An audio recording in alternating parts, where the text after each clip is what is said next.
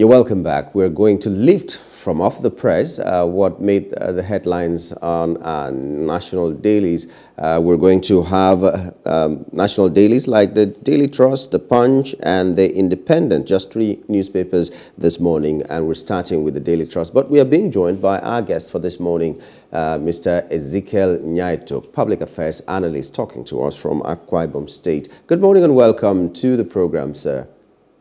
Good morning and thanks for having me. Okay, let's begin first of all with the Daily Trust newspaper. And there are some very interesting headlines, like the one they're leading with. It says Ganduje tipped as APC national chairman. And the riders are Tinubu Shettima, host ex-governor, then Uzodimma and two others. Progressive governors back move uh, for maybe uh, him to become the chair. An announcement to be made soon. Jubilation in Kano APC. Okay, your take on the fact that um, the former Kano state governor uh, might just be the national chairman of APC. Yeah, um, you see, politics in Nigeria has become the main game and not governance. I was once a national chairman of um, a political party that was then rated as the fastest growing, and that's when we set up the Young Democratic Party, where I was a co founder and the pioneer national chairman. Now, when you look at what we tried to do that really like um, set the fire was because we realize that there's a demography that is not captured in Nigeria, that is not brought into mainstream politics, and that's the youth. And we went out for the youth, and it opened the door. You know, uh, most people may not know this that today YPP, Young Progressives Party, is an offshoot of YDP, uh, where the current chairman was my national youth leader, and I handed over the party to him. And um, one way or the other, there was a movement from YDP to YPP. But then it's a party that is still there and making uh, some inroads here and there. But coming back to what I wanted to establish, now APC, in trying to get a national chairman, has to have certain considerations. One of such considerations is what do we want to achieve? Do we want somebody that comes out and is a breath of fresh air, a departure from the conventional? Do we want so that the youth demography will go with them? Do we want somebody that will come and he has this personality, he has this character, he has this good conscience, he has this, you know, something that Nigerians will say, the new face, the new face of hope for Nigeria? Or do we want, you know, the old block, the old game? We don't care about the young people. We don't care about morals and ethics. We don't care about anything. We just want to be able to plot our design and, you know, be able to get a certain section of the country. And how will that work out at the end of the day? And don't forget that there are two options on the table. Option one is that the current government wins at the tribunal, wins at the appeal, and wins at the Supreme Court, so they stay. If they stay, what is the future of the party? Does it really matter? We are talking of the next election. In the next election, what are the permutations and combinations? Or is there a possibility that the tribunal could ask for a rerun of some sort? And on the basis of that, how do we? So I think is the, the, the, politics of numbers. And in the numbers, they are looking at Kano. But I think that I'm not a member of APC. I think that they may be making a very strategic mistake along the way, and they may be losing both ways and there's even a third factor, which is the internal politics of um, Kano. Uh, you know, of um, for a while, there's there's been this seeming romance and relationship between one very important indigenous of Kano and the current government, and the other people are feeling what's going on here. You know, there's unease within the APC camp in certain quarters. But I think that uh, President Tinubu should, as much as he cannot jettison politics, He should look more into posterity. God has made you a president, no matter how you look at it. Even if you are subsequently removed, I mean, you've been able to sit there for a minimum of six months, I would say.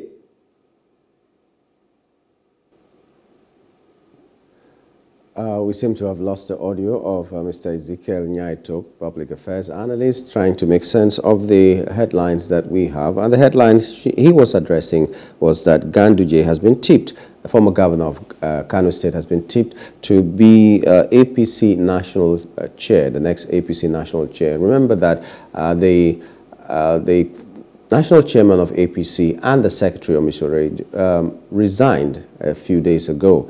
It has been made public and official right now, and the people who are holding brief uh, placeholders are there, and uh, we, we, had that word when we, we were doing the run-up to the elections. The placeholders are there, and um, now we are talking about a permanent solution to the chairmanship of APC. We do hope uh, that Mr. Ezekiel is back on now. Mr. Ezekiel, can you hear me?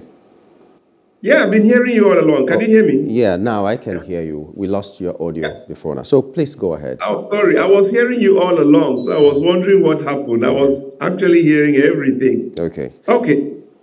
Anyway, bottom line is I think that the PM APC should really sit down and ask themselves exactly what they want. Because some of those calculations and permutations that they are making uh, at the risk of um, uh, sounding uncharitable, I think that Mr. Tinubu needs to know what sort of, you know, image he wants to put forward to Nigerians.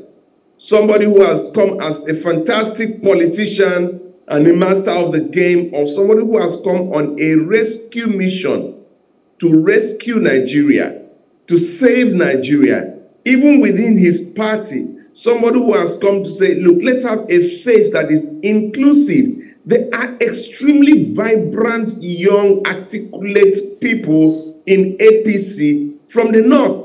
That if you make them chairman today, wow, you will cut the ranks of the Obidient. You will capture a section of the youth demography. You will get a lot of the people in Nigeria who are saying, look, we are sick and tired of all this government, I know all these old people we are tired of them. Give us something refreshing. And for you to now bring Mr. Ganduje as your preferred candidate, I, I have my very serious reservations as to what, what informs your choices and what your choices are going to be going forward because the morning tells the day. The, the, the concern uh, of, of some people as well is that no, not only is Ganduje part of the whole old stock, as it were, uh, he's also under investigation. You know that they've renewed his investigation, the investigation into the case of his dollar bribe that they used to call uh, Gandollar in those days. Gandollar. Yes. So now he's under investigation and he's being touted to become the next APC chairman. Seems like everything, you know, every principal officer has a baggage that has not been taken out of their, their necks, but uh, they're still good enough for the APC. But right now... You, let, let, let me say this. Like I ended earlier, the morning tells the day. I think somebody close to President Tinubu should let him know the mood of the nation and what I may call the imperatives for success. There's a very urgent need for a rebranding, and he could not have a better option than this choice of a new national chairman. Let him look for a relatively young person that is very vibrant, that is very engaging, that has a good record, and there are many of them. Very many people in APC are my friends. Okay? They are my friends. And I know that these people, they are there. And let him look for one of those people and rebrand. Start from rebranding APC to rebranding himself, so to speak. And he'll be able to carry a lot of Nigerians along. People are getting detached and they are falling off on a daily basis from what is going on. They expected that he would hit the ground running and then there will be a, a, team to be able to manage the economy. Things are going haywire. We don't know the fuel subsidy thing is, is killing Nigerians. And we just want something to say, wow, this is nice. You know, all these other things that there's too much politics already. There's too much politics and mm. too little governance and something to make the average Nigerian to smile. Okay, you just talked about fuel going higher and higher. Um, uh, the, the other headline there on uh, the Daily Trust is more knocks for federal government over petrol price increase. Remember that Mele Kyari came out and said that market forces are the ones controlling the, the price. And we were even asking, do you really call these market forces when just a few people are in charge of these? Is that enough to call market forces? Maybe there are four or five people that can form a clique or a cabal. Uh, you, you call that market forces uh, when uh, the prices go high like this. And then I saw this morning someone on Twitter was saying that if you're patriotic enough, you should be happy to buy fuel at 700 naira. Uh, I don't know whether that is patriotism or uh, being docile or being, I, I don't know how to describe it. What is your take on what is going on in the oil sector where we are now buying fuel in Calabar? I think two days ago, we had reports that they bought for 700 naira when they were selling for 617 in Abuja and some parts of Lagos and all that. So what's your take on what is happening in petrol so, so to say. Not let me leave out diesel because that one has gone up a long time ago. The kerosene has gone up a long time ago. But now it's petrol that every aspect of our life seems to be tied to, and it's going higher and higher. It might get to a thousand naira. Two things. The very first thing is that last night I bought, you know, because of the way things are, some of us have devised ways of redesigning our houses and um, kind of um, running on what is sustainable. Okay? Right now, there are petrol um, generators that can carry three ACs. If your bedroom AC is on, maybe your private parlor AC is on, you can leave one more. Do you understand me? And many of us have resorted to that. Some like myself, sometimes we have two or three of those, you know, standing by. So the big generators that take so much diesel, we just keep them, make them wait for now. So we are kind of redesigning our lives to fit the current lifestyle. Even the big man, you discover that you are leaving your big SUVs for Sundays, and then your daily runs, you are looking for one other smaller car that has fuel efficiency. We are starting to redesign and become more, especially those of us that are not in government but are private citizens. But even with that, Last night we bought petrol at 650 in Uyo. So it hasn't reached 700, thank God, but I bought 650 in Uyo. But let's drill down and talk about this petrol thing. One of the biggest problems that we have in Nigeria is this thing of everything being opaque. There are two things. The first thing is that you must understand that nobody buys something for two naira and sells it for 150 except government. So the first thing you do is engage the public. Tell them, come clean. Tell them that the cost reflective value and price of electricity, bring it out transparently, honestly, with integrity, is 5 naira per kilowatt hour. Nigerians see that. Come to petrol, bring it open. There are two things about petrol. One is, we have a swap deal? Swap deal means I give you so much barrels of crude in exchange for so much, uh, you know, um, uh, petrol. If that be the case, there's nothing like exchange. Oh. there's nothing like exchange rates. Nothing like dollars, pressure on dollars. If you understand what I mean, it's like it's like um, a trade, trade by, by. Yeah. Yeah, it's like a barter arrangement. If we are stopping that arrangement, what, what is the reason? Because if you come clean and say, before a barrel of crude will give us maybe three uh, million liters of petrol, but because of price differentials, a barrel cannot give us 3 million barrel, 3 million um, liters again, but maybe uh, 2.9. So the, the, the, the, the, the differential is in how much you get back, but it has nothing to do with dollars. It has nothing. Second option is you buy my crude at the market rate and then you pay me my dollars. I use my dollars and buy your own petrol at your own rate. And my question is why would I rather not do a barter, which is the, the swap deal? What is the problem? My brother, the problem is corruption, being opaque, lack of transparency, lack of accountability. As at today, every country has access to know the production from the rig, from the extraction. The president can know in his office on a screen the amount of crude that comes out from every um, oil well. He can know, but he would rather not know. That's why we talk of bunkering, why we talk of how much is lost. Because if I know how much comes from the from the from the drill head, and I know that today I have two million barrels, there's no question of why I will not have value for my two million barrels. Oh, they stole this, they didn't steal that. Where did they steal? At what point did it miss? Whose section was it? What is the explanation? Mr. Tinubu, my governor should, my president should please think of transparency and accountability. That is why people just drove towards Peter Obi. It wasn't like there was anything, you know, fanciful about Peter Obi. They just expected that he would come with a different mindset because that's what he did when he was a governor.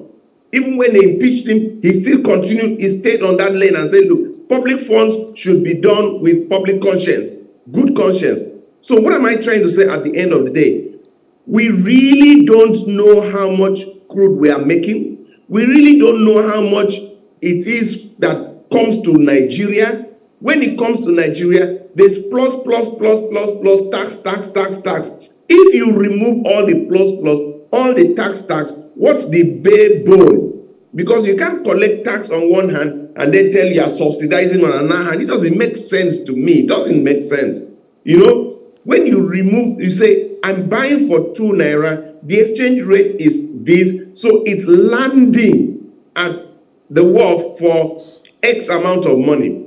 And every Nigerian knows that X amount of money. They know that there's this is a cost reflective price for power, this is a cost reflective price for fuel and other things. And you tell Nigerians, if we are to subsidize this and subsidize this, the two subsidies coming together will cost us, say, 5 million naira. But we don't have 5 million naira. We have an option to borrow, and borrowing will go a problem. Or we ask you to just pay a little. When you pay this little, what is cost reflective for the people that can afford then we create an alternate window.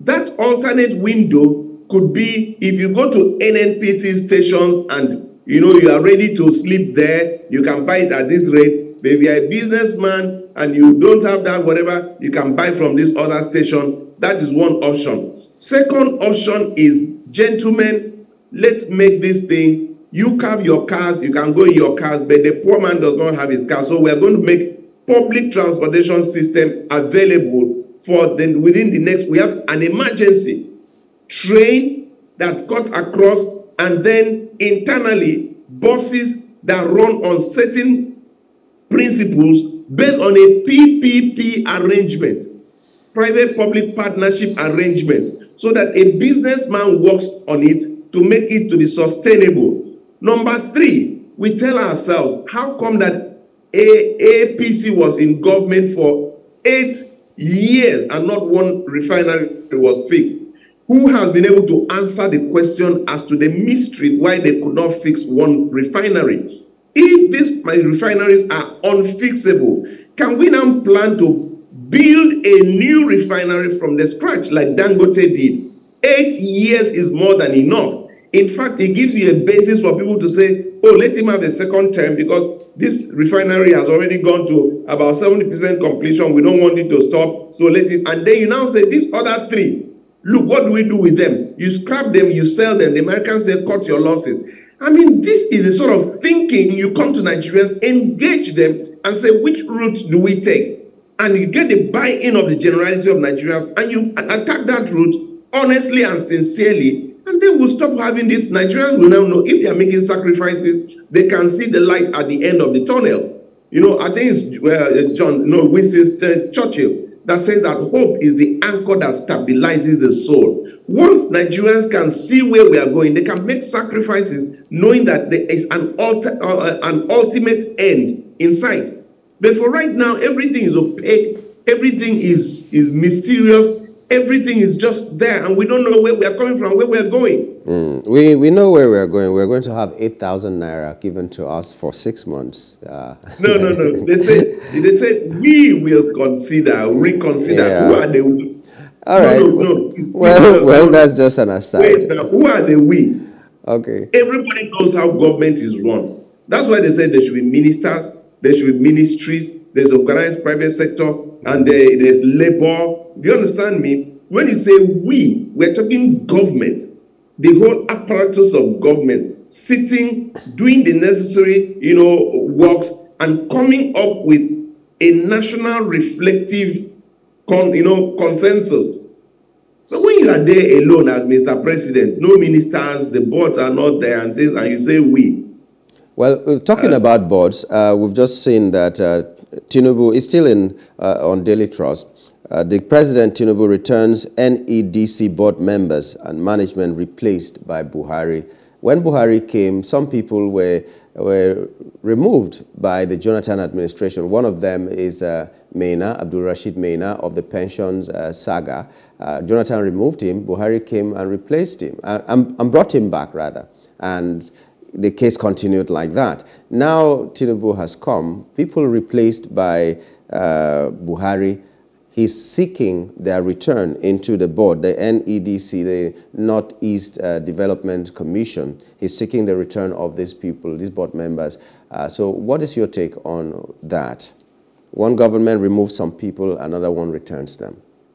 I think that every government uh, has the right to say this was not properly done um, there was no basis for this removal. I bring the file, I look at the files, and I see that, look, um, there's no basis for this being removed. As a result, please let them come back and continue their work. Now, that is possible. I actually have nothing against him. The only, the other thing is that it could be a political expediency because this has to do with the North, and he feels that uh, he has two options. First is that it could have been an opportunity for him to put a certain quality of people back there. But if these are the people that um, during the campaign they worked for him and um, like they had a deal, they had an understanding, and they delivered, then he might also have to um, reward them by keeping to an agreement they had before time. So I don't know why he's bringing them back. Either he's found them to be extremely competent, you know, so he brings them back. That could be a good reason. Or they had a deal before election and said, oh, God, we'll rob your back, you rob our back. We'll come together, we'll deliver this, and then when you win, you bring us back since we're already there. That's a possibility. The third possibility is that he just thinks that for whatever he's worth, let him satisfy certain blocks or understandings. The final is that they could have been people that he masterminded their being there. And then President Buhari got to know that, wow, somebody has cut the carpet, you know, beneath my feet. And he's like, no, no, no, this Tinubu is having his tentacles everywhere. So, bam, get them out. They got them out. And then Tinubu comes back and he's like, sorry, guys, you know, there's a return of the mark. So he brings them back whichever game that is being played, I, I pray that it is done on account of the fact that he's found them to be extremely com extremely competent and you know square pegs in square holes and he brings them back in the larger interest of the northeast development commission because that commission is if you know the history of that commission you know, it was likened to something like the NDDC for the South South. Yeah. So I think it's a commission that should be extremely important, especially now that the Northeast is so ravaged, is a commission that should come in as an interventionist agency and really hit the ground running and really work for the larger good of the generality of the people of that um, uh, constituency. If that is his consideration, God will bless him because the people that are suffering, man, okay, they are suffering. Yeah. there, they are suffering. Those guys are suffering. Yeah, let's move to the Punch newspaper. Uh, the biggest headline there is fuel price hike. Business operators panic, fear shutdown, and job losses. The writers on that story are hike to worsen manufacturers' woes. Many SMEs will die. Uh, Manufacturers Association of Nigeria, LCCI, lament. And we also have NLC considers emergency meeting. PDP slams federal government as reps summon NNPCL boss. Now, you are an architect. You are a businessman as well. Tell us how biting this hike in fuel price is to you as a businessman so that we can use that to relate to other businessmen and manufacturers that we have. I'll tell you that I don't know the word to use on this issue of fuel. A bad combination to a businessman of fuel and exchange rate. I'm a developer and I have an estate. Some people have paid me full for the houses I developed. I had done my mathematics and everything. The fuel prices have just come and destroyed everything I had done because all the prices of all the products in the market have all changed. What moral rights do I have to go back to a man who had paid me full and he will have his house by December and I was working according to timelines and I was meeting timelines. And all of a sudden, in the past one month or two months, everything has gone haywire. I'll give you a very little example. How, do I do this without getting too personal? My family member have suffered so much. I decided, okay, let them take a break because of my involvement in politics. So I told them, okay, go take have a break. They were going BTA, applying at 400 and something naira BTA. They were applying. They are already applying everything. All of a sudden, within one week, that window was closed. A new window was open. Sunday is my wife's birthday. I'm now having to move from 400, maybe uh, three family members, maybe a minimum of maybe $10,000. From about 4 million, you have to bring out about about 10 million, 8 million. There's a differential that just doesn't make sense within a few weeks. Come back to business. In petrol, all your calculations that you were working on prices in the market, you now have to up your calculations by over 30%, whereas you've already collected the money from the people. So right now, I'm having to do everything to cut all my losses. I'm just wondering, my guy, if I'm to say, let me return your money, how much will you charge me? If, if it's like 10%, it becomes easier for me to return your money than for me to look for additional 30% to come and complete and meet the contract and maintain integrity. It's a difficult thing. How do you call the people back and say, please don't be annoyed? Prices have changed. They said, my guy, sorry, we have a contract. I paid you 100%. And as a result, so as a businessman now, the question is, how much can you take upfront on something you're about to do? Because you don't know how the prices are going to change. The foreign exchange rate is just going haywire. The petrol rate and petrol affects, you know, people don't know this. Petrol affects everything. Everything, including vegetable in the market. You say, uh, how does that woman paid transport to come to the market and that transport has changed because of petrol. So the price of garri has changed. The price of vegetables have changed. Businessmen are just wondering, what do I do? Can I just shut down? At a stage, I actually considered selling my whole estate, looking for somebody that would just buy it off me and get the bulk money, exchange it at whatever rate November when I'll be 60, and just go and relax. I've had enough. But the question is, if we do this, what are we leaving back to Nigeria that brought us up? And for someone like me, my case is double jeopardy. I am one person that owes Nigeria. This will be very strange to many people. Nigeria gave me the best education that anybody could give anybody in the world. It sent me to a school from the village where I lived with my grandmother, and I knew nobody. I had no connections. I had nothing. I moved from the village in in Biokwe, in the local government area, where I lived with my grandmother, to Federal Government College, Warri, that was rated the ninth, the best in West Africa and the ninth best in the Commonwealth. And today I can be speaking big English and be appreciated by people because of the education Nigeria give me. How do I leave this Nigeria and go away to another country?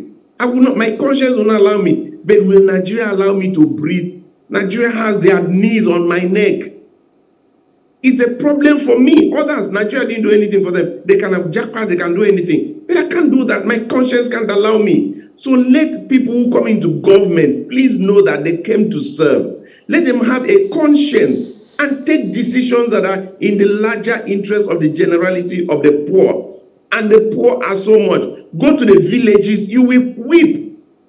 In our language, I'm sorry to say this, there's what we call it. Idiong. Idiong is like, is like, like a native doctor of the worst order.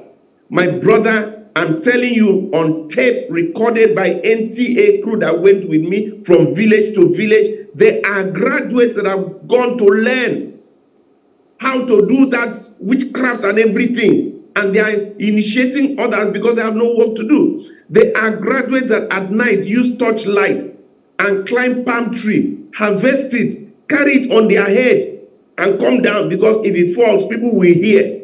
To steal.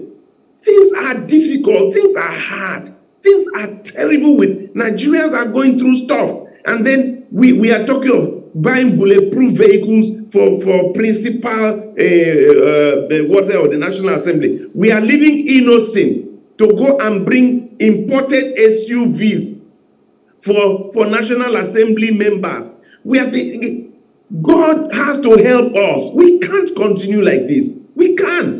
We need to have a little bit of conscience for the poor. People are suffering. This night, a woman who has fasted to have a child for seven years is going to lose that child today, today, today. Why? She does not have 2,000 naira to pay for the medical bill that is required. And these nurses, they've developed a thick skin because too many people have put too much wahala on their heads. And the owners of the hospitals are like, you take another person, you lose your salary. So, madam, if you know if you pay that two naira, sorry, oh, and he will sit there and watch that boy breathe his last and he's gone.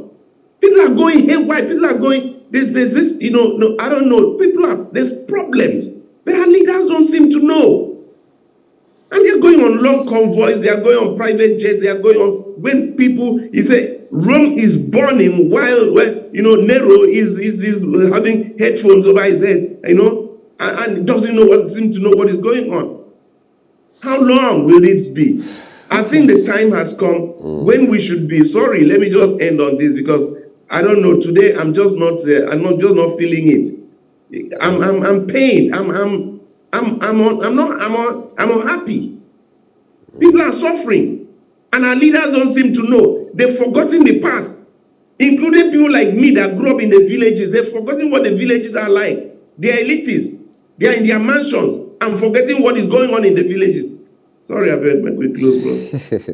no, I'd like you to just give me a one-minute uh, answer to this. Uh, we've seen headlines in, in Daily Independent. Reps asked Tinubu to lift embargo on employment. But we another smaller headline says, uh, Senate tells employers to remove age limit from employment. That's on the Daily Independent. So there is embargo on employment. And if the embargo is lifted, do, does Nigeria have the money to pay more employees uh, if uh, that embargo is lifted. Because the first time, the reason for placing the embargo possibly is that, okay, we have enough uh, hands and maybe we don't have enough money to pay the other people that will be employed. right now, another uh, group is asking, the Senate is asking employers to remove uh, age limit from uh, employers or, or would-be employees rather, or applicants that were trying to get a job and all that. So just combine this together and see how uh, you can answer it briefly. On the one hand, okay. embargo, and the other, other yeah. hand, age limit. Just, yes. just like state of origin, yeah.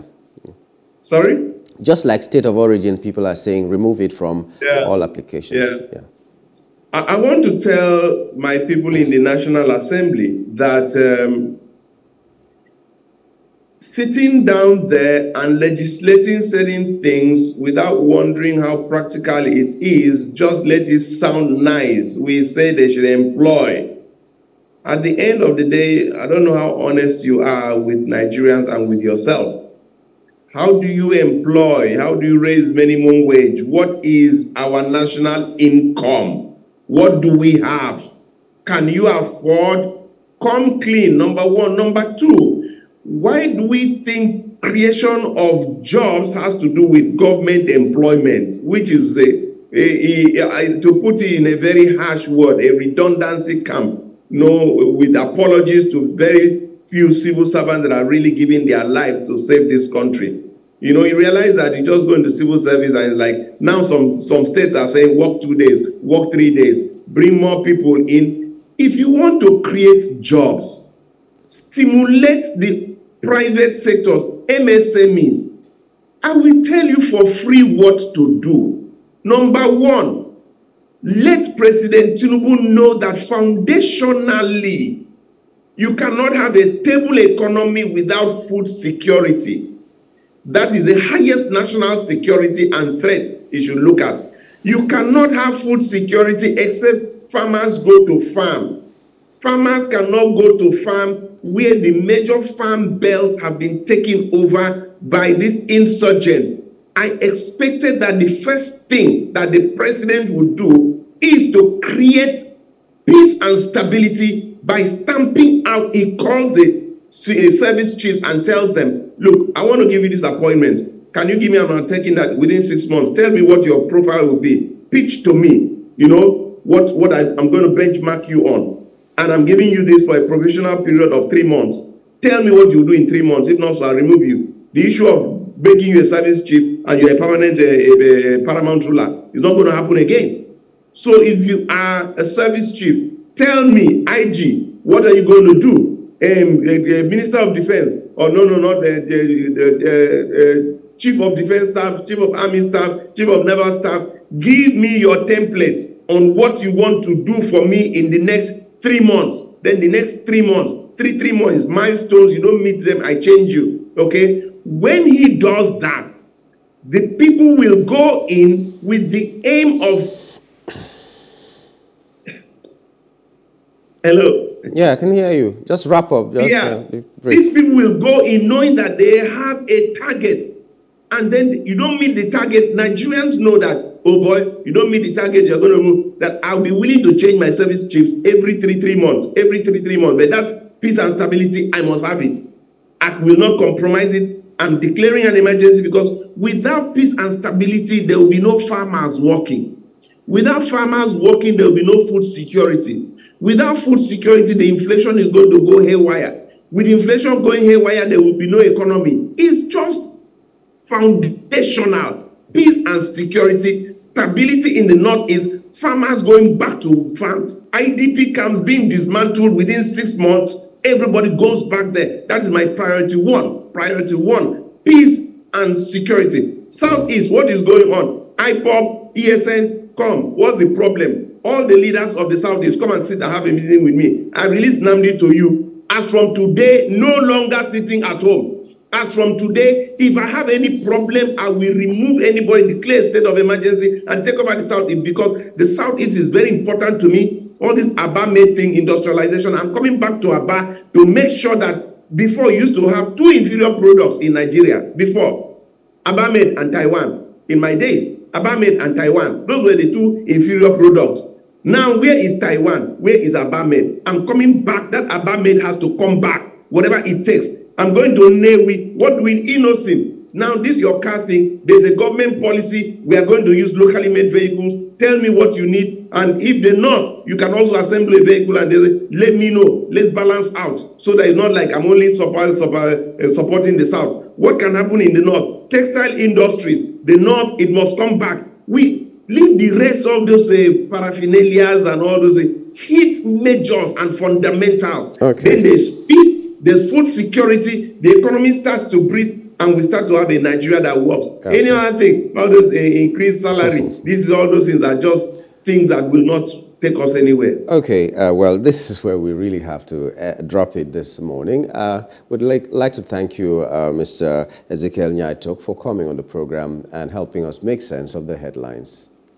Thanks so much. I promise that next time I'll be more.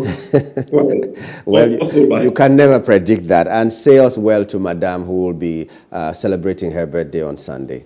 We wish her a happy Oh. birthday. Thank you. Thank you. Thank you. Thank you. Okay, we'll take a short break now, and when we return, we'll be looking at our first hot topic, which is Nigerians groan as high fuel prices shrink incomes and worsen poverty. Stay with us.